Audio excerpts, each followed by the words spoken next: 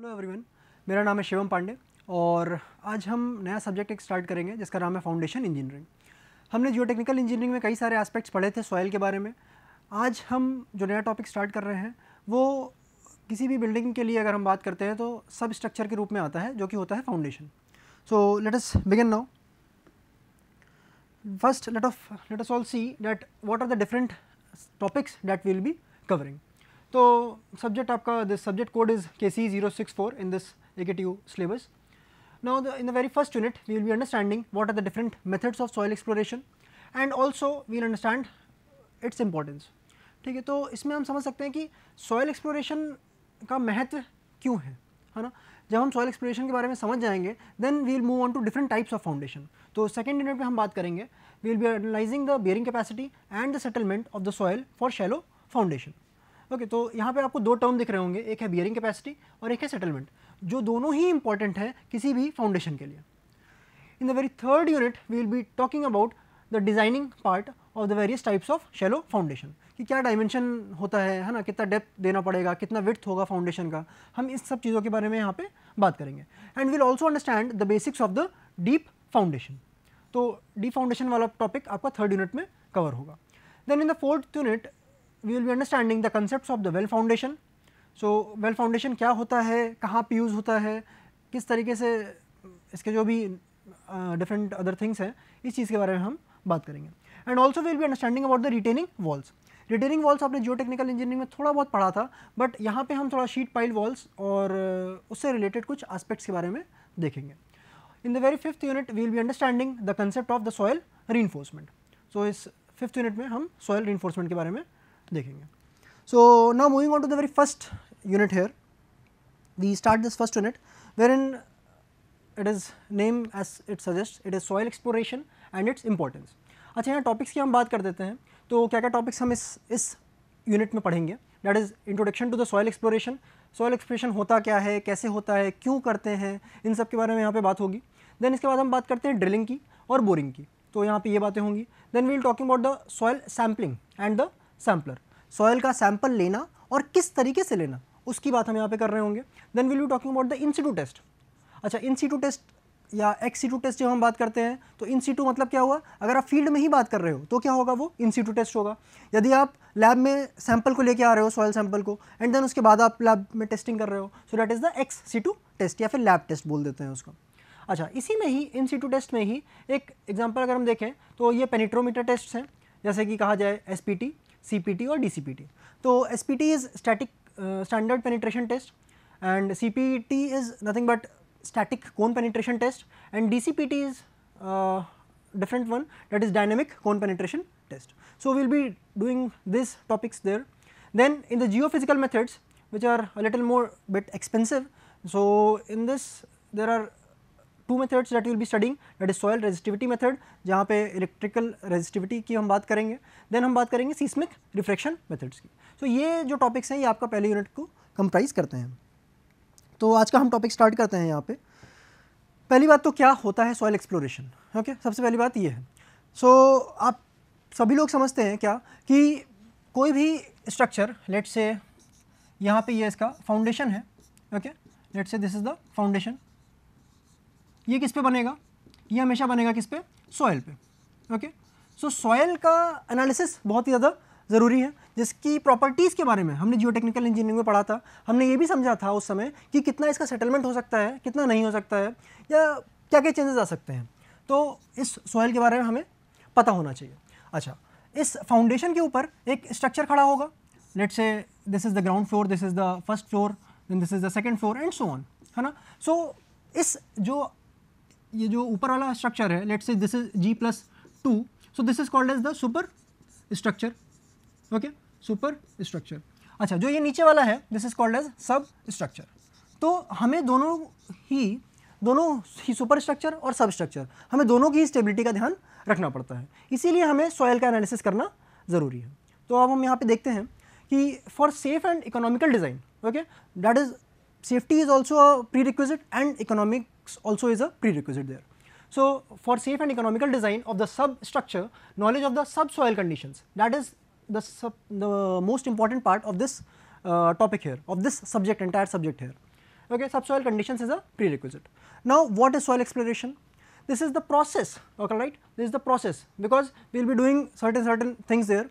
Wherein field and laboratory test, okay? The first thing is field test, second thing is laboratory test. अच्छा जब हम laboratory test की यहाँ बात कर रहे हैं तो इसमें ऐसे specific gravity का determination हुआ या फिर uh, की बात हम कर देते हैं तो इन सब टेस्ट के बारे में हमने पिछले जियो टेक्निकल इंजीनियरिंग में हमने पढ़ा था ये चीज़ ठीक so this is the process wherein field and laboratory test are carried out for obtaining the necessary information about subsoil characteristics कि हमारी जो सब सॉयल है उसका क्या क्या प्रॉपर्टीज़ है ठीक? कि वो सूटेबल है भी कि नहीं है? कि वो कोहेजनलेस है? कि वो कोहेजिव सॉयल है? अगर कोहेजिव सॉयल है तो सेटलमेंट कितना देगी? अगर कोहेजनलेस सॉयल है तो भी उसमें क्या क्या चीज़ें या क्या क्या इफेक्ट्स आ रहे हैं? हम उसकी बात कर रहे होंगे। ठीक? यहाँ तक कि including the position of the ground water table है तो ग्राउंड वाटर टेबल किस तरीके से अफेक्ट करता है? हम यहाँ पे इसकी भी बात करेंगे। अच्छा। Why and this is important here why we need to D do this things first of all due to the complexity of natural deposits अगर मैं बात करूँ लेट से कोई भी सॉयल है है ना? अगर मैं कहता हूँ ये ग्राउंड लेवल है ओके तो सॉयल अगर मैं इसमें बात करता चलो जाऊँ तो यहाँ पे लेट से कोई सॉयल होगी यहाँ पे कुछ और सॉयल हो सकती है। क्या पता यहाँ पे कुछ और सॉयल होगी? तो सॉयल का नेचर चेंज होता जा रहा है। सॉयल का नेचर चेंज होता जा रहा है और आपको पता भी नहीं है कि कौन सा सॉयल है। सो so, किस लेवल पे जाके कौन सी सॉइल आपको मिल रही है, उसके बारे में जानने के लिए हमें ये एनालिसिस पूरा करना पड़ता है। ठीक है? अच्छा choice of the soil exploration method आपको कौन सा मेथड चूज़ करना है, ये किसके ऊपर डिपेंड करेगा? लेट से अगर कोहेजिव सॉयल है तो उसके लिए कुछ और होगा। यदि कोहेजन लेस सॉयल है तो उसके लिए कुछ और होगा, है ना? So nature of subsoil their extent आप कितने नीचे तक जा रहे हो? ठीक? कितने डेप्थ तक आप जा रहे हो एक्सप्लोरेशन के लिए? Then what is the purpose of soil exploration programme आप बहुत ही ज़्यादा डिटेल एक्सप्लोरेशन में जा रहे हो या फिर थोड़ा सा ही एक्सपेरिमेंट करके बस छोड़ देना है उसको ठीक? या फिर बहुत ही बड़ा लेट से ट्वेंटी स्टोरी बिल्डिंग खड़ी करनी है या फिर सिर्फ़ और सिर्फ़ आपको रेजिडेंशियल कॉम्प्लेक्स खड़ा करना है। सो so, क्या है आपका सॉयल एक्सप्लोरेशन का प्रोग्राम उसका जो पर्पज़ है वो भी एक मायना मायने रखता है यहाँ पर अच्छा यहाँ पे ये दो स्टेजेस में होता है। पहला होता है प्रिलिमिनरी एक्सप्लोरेशन और दूसरा होता है डिटेल्ड एक्सप्लोरेशन ऑल अच्छा जब हम प्रिलिमिनरी एक्सप्लोरेशन की बात करते हैं। It consist of the geological study and site reconnaissance geological study की जब हम बात कर रहे हैं तो यहाँ पे समझिएगा इस चीज़ को कि जियोलॉजिकल स्टडी बेसिकली जो भी टोपोग्राफी है वहाँ की, हम उसके बारे में बात करना चाह रहे हैं कि कैसा टोपोग्राफी है, कैसा सॉयल है और वो सब चीज़ें हम हम ऊपर ऊपर से देखना चाह रहे हैं। अच्छा साइट रिकनेसेंस भी अगर मैं बात करूँ तो इसको हम वॉक ओवर सर्वे भी बोल देते हैं कभी कभी है ना? Walk over survey why do you call it is this walk over survey because आप टोपोग्राफी जाके देखते हो कि कैसा कैसा है वहाँ पे, है ना? क्या क्या फीचर्स हैं वहाँ पे? पॉन्ड है माउंटेन है हिली फीचर है, या कितना कितना रेज्ड है, या कितना कितना डिप्रेशन में है area so this is done there okay सबसे पहले आप जाके पता करते हो।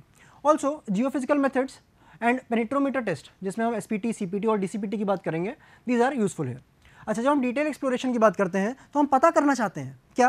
कि nature sequence and thickness of the subsoil layers ठीक? अलग अलग जैसे हमने कहा कि ये ग्राउंड लेवल है ऑल राइट और ग्राउंड लेवल के नीचे अलग अलग लेयर्स है। Let say layer one layer two layer three है ना? सो क्या क्या चीज़ें आ सकती हैं? क्या क्या लेयर होंगी? क्या कितना थिकनेस है उसका? सो so, हम उन सभी का वेरिएशन हम चेक करना चाहते हैं।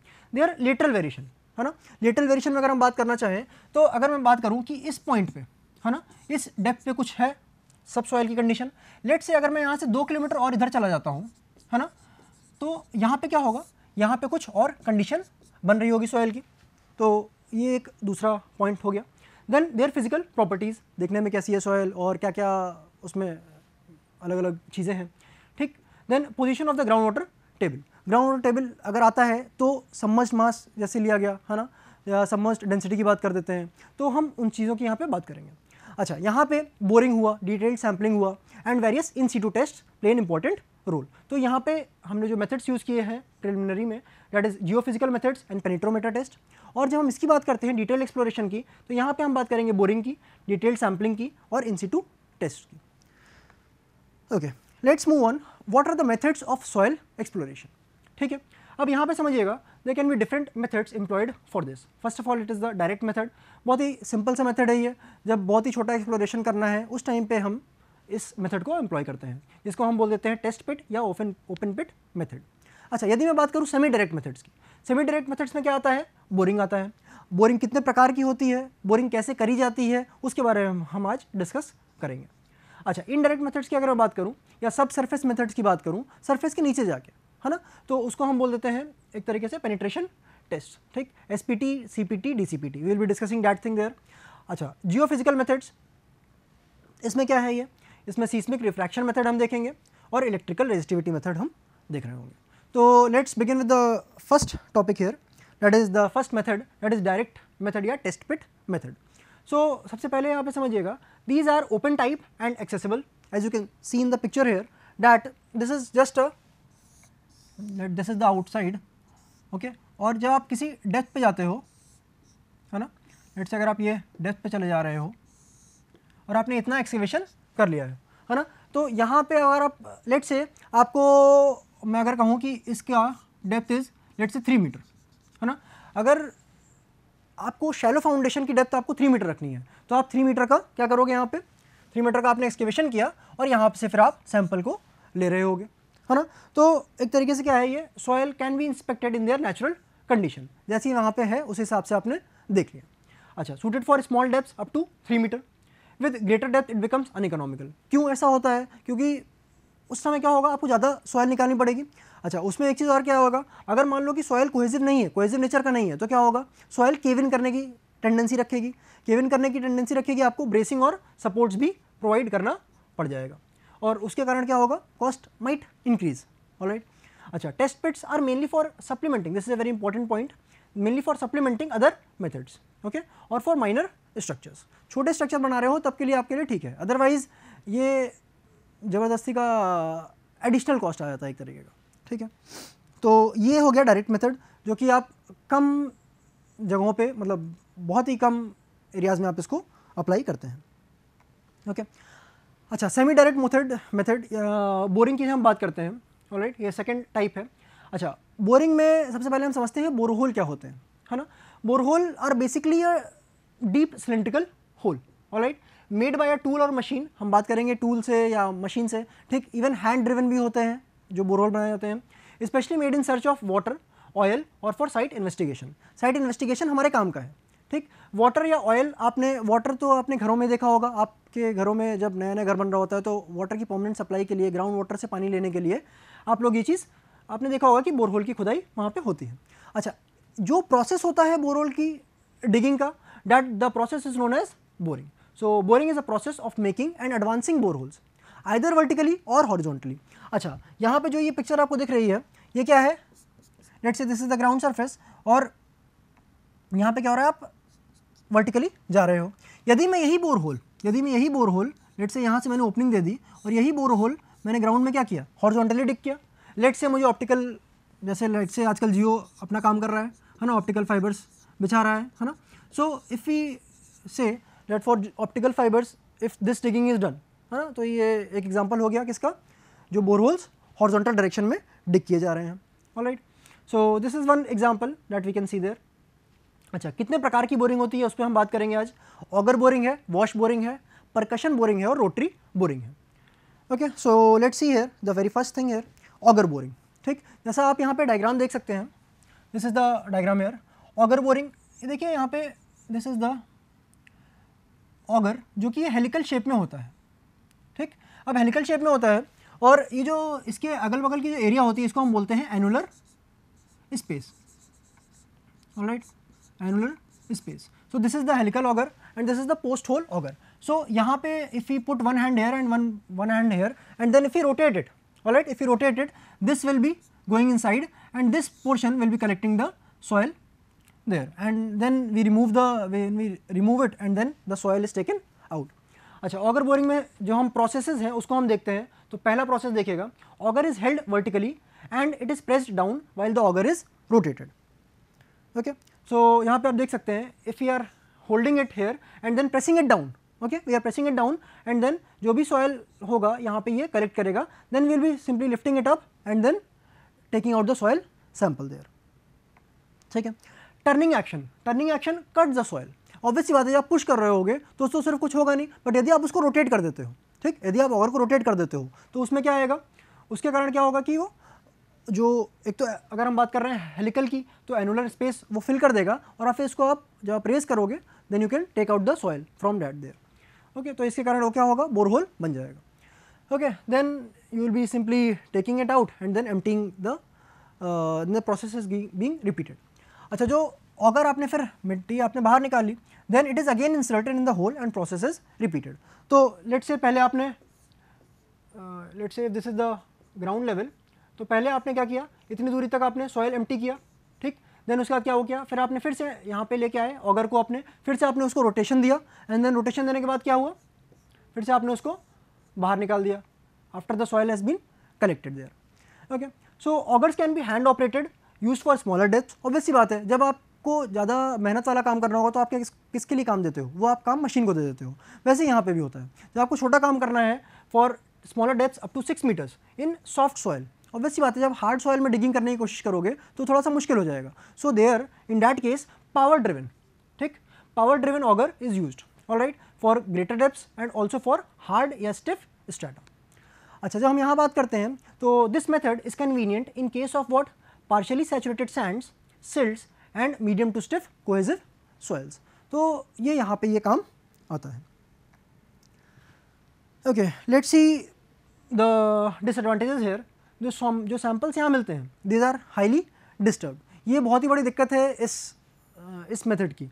इवन जितने भी हम बोरिंग के मेथड्स पढ़ेंगे, सभी में ये परेशानी यहाँ पे देखने को मिलेगी। जहाँ पे depth of exploration is relatively small वहाँ पे ये यूज़ होता है।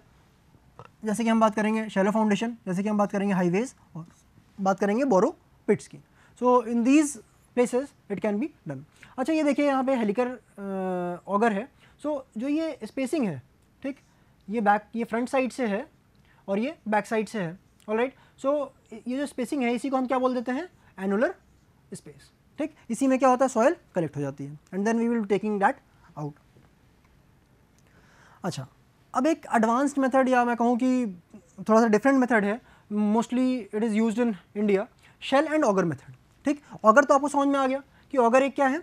ऑगर रोटेट करेंगे and then it will be taking out the soil sample और it will be simply digging a bore hole अच्छा शेल की हम बात करते हैं। शेल मतलब क्या होता है? एक केसिंग है ना? शेल कभी भी बात करोगे तो आप क्या करोगे? एक केसिंग होती है।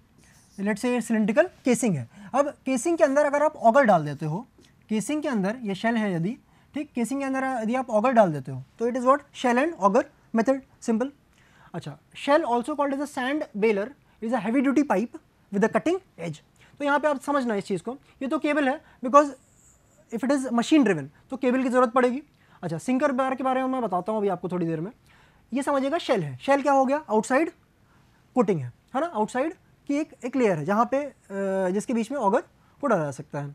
अच्छा ये हैवी तो होता है बट यदि मुझे और वेट ऐड करना है लेट से नीचे आपको स्टिफ सॉयल मिल गई, ठीक? नीचे आपको स्टिफ सॉयल मिल गई। अब स्टिफ सॉयल को कुछ, एक लेट से पाँच के के वेट से नहीं हो पा रहा है, वो कटिंग एक्शन नहीं मिल पा रहा है। देन व्हाट विल हैपन आपको क्या करना होगा? वेट ऐड करने पड़ेंगे। और जो वेट एडिशन का काम होता है, ये सिंकर बार का होता है। तो जितने भी आप वेट ऐड करना चाहते हो, ये सिंकर बार के रूप में आप ऐड कर सकते हैं।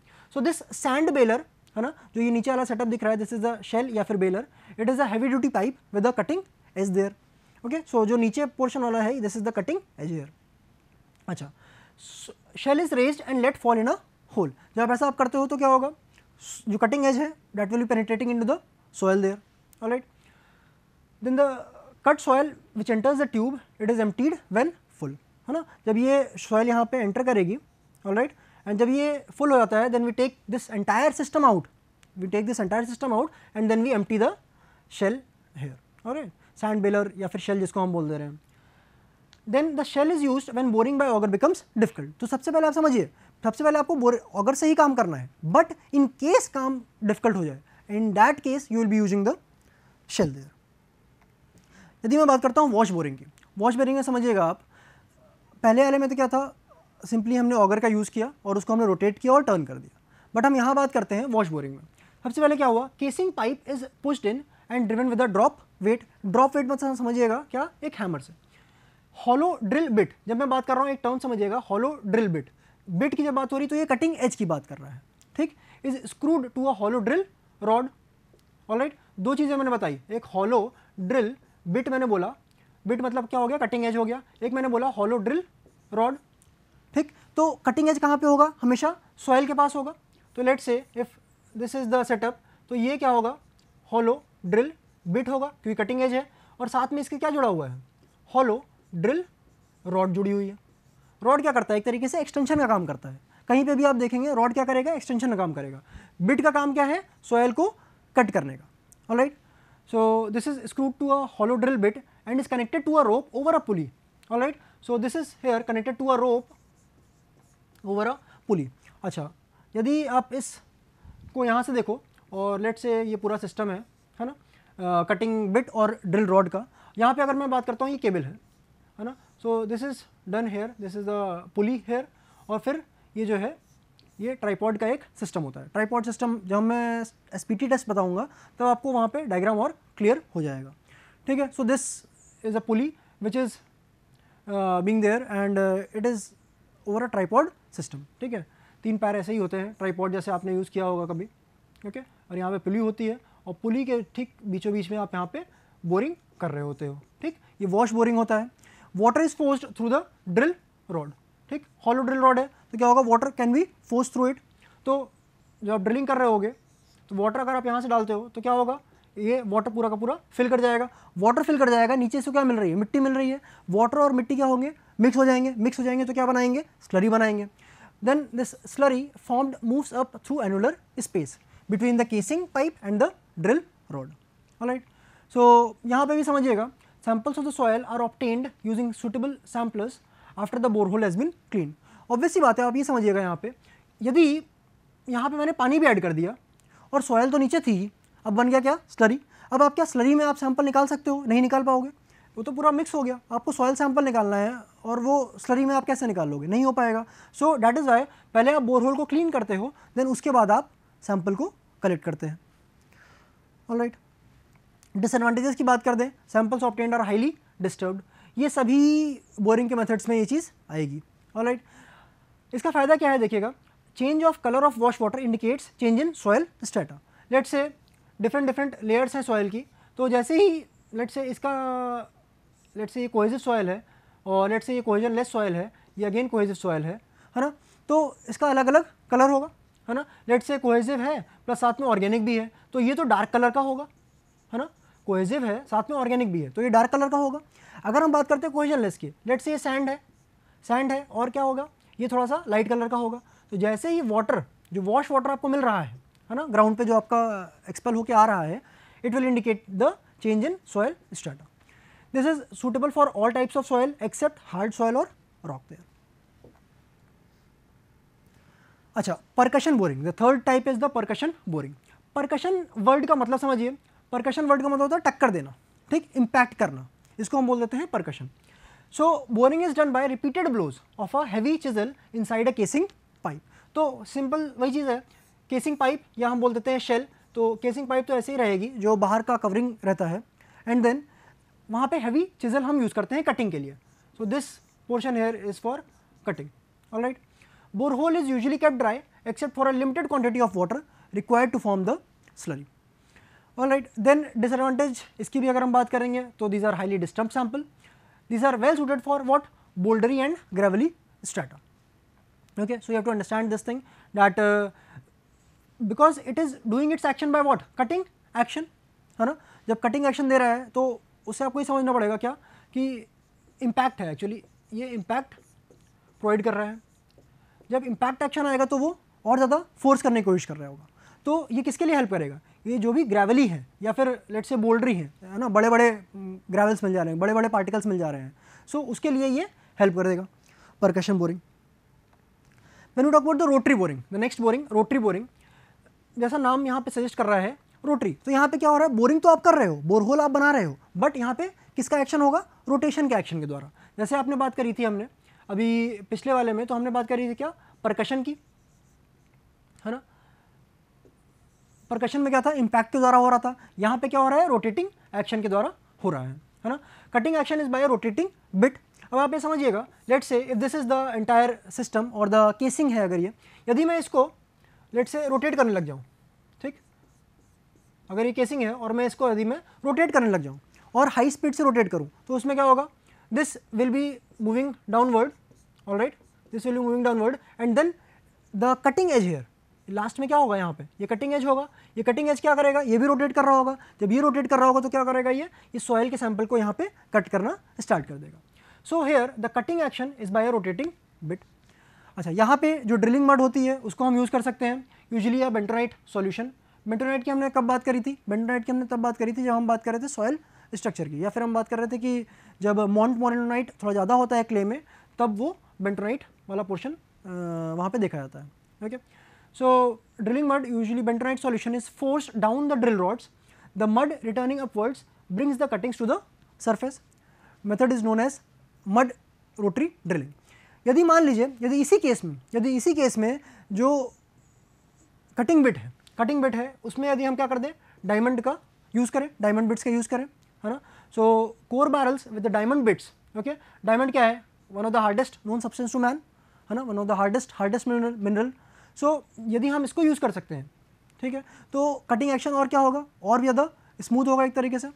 So these are also used these are also called these are used for these rocky structures method is known as core drilling there तो ये हमारे जो मेथड्स थे, ये हमने किसकी बात करी आज? हमने एक वॉश बोरिंग की बात करी और हमने एक और बात करी जो डायरेक्ट मेथड था ओपन पिट मेथड था।